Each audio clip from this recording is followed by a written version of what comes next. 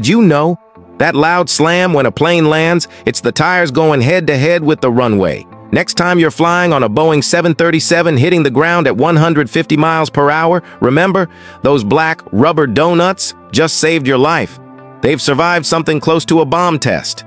Don't think aircraft tires are just big. They're engineered for the most extreme conditions on Earth. Take the 737.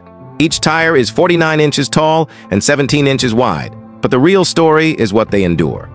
On takeoff, they accelerate from zero to over 150 miles per hour in seconds.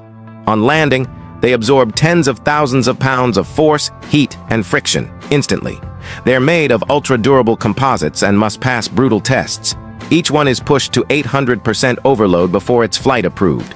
No blowouts, no cracks, no skidding, because one failure could be catastrophic. Every day, 4 million flights rely on these rubber warriors.